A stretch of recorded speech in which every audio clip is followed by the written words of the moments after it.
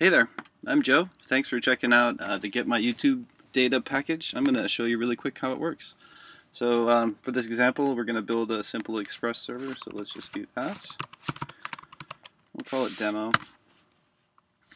Alright, so let's go into our demo folder and we'll install its dependencies first. There's a couple that are in the background there, but it's really nice because I set the whole thing up for you. And then let's do an npm install of get my YouTube data. So let's just get dash my dash YouTube dash data. Okay, oh actually, you know what? I forgot to put a save flag on there. I'm not going to be sending this out, but it's just old habits. Alright, so now what we'll do is let's open up an editor. So in the app, let's see here, there's the routes, okay, so the index will go there. Alright, well it looks like it's not listening for anything, so let's fix that. App.listen, let's tell it to listen on port 3100, not 1000, and then we'll just log out so we know it's running. Um,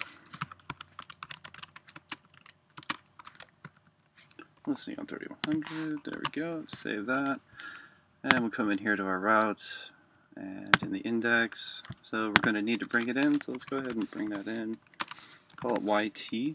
Uh, YT is going to be equal to acquiring that package we just installed.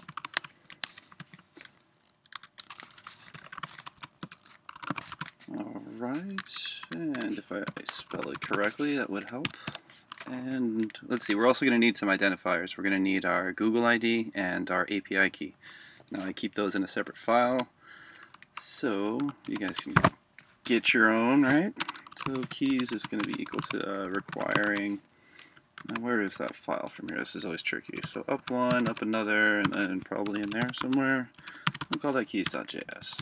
Alright, so let's start um, a route here. Let's do a router.get, and we'll call it test.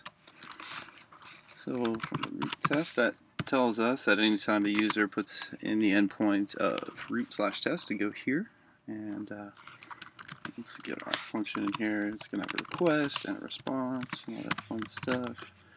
And then we'll just say um, oh you know what? So uh, get my YouTube data returns promises. So we're gonna have some fun with async await here. So async function and then let's just say let the data be equal to await uh, yt dot give me all right yeah give me all and then let's see it should be keys dot youtube dot id and then we got the second parameter is going to be the keys dot youtube API key. You can get your API key and your Google ID and all that good stuff. Um, if you check out the README, there's going to be a couple different uh, tutorial links and stuff on how to get that. I'm sure you'll figure it out. And then let's just uh, res.json that uh, the data. Let me just see. It's not going to be pretty, uh, but we're not doing any templating or anything right here, even though we could, right? Just. All right. So now that we got that set up, let's uh, take a look here and let's run this. And Oh, right, because I have to turn the server on. That would help. So let's do a nodemon, and we'll have nodemon listen to app.js, listening on 3100. let's reload that. And, oh, that's good. So here it is. Boom. These are all of the videos associated with my account, and these are all of the comments that are associated with my account. And now you can take all these juicy, juicy JSON objects and break them down and make them pretty. Like you can see, here's the comments and the video ID and all that fun stuff. So thanks for watching. I hope you enjoy it. If you have any issues, please submit it on GitHub.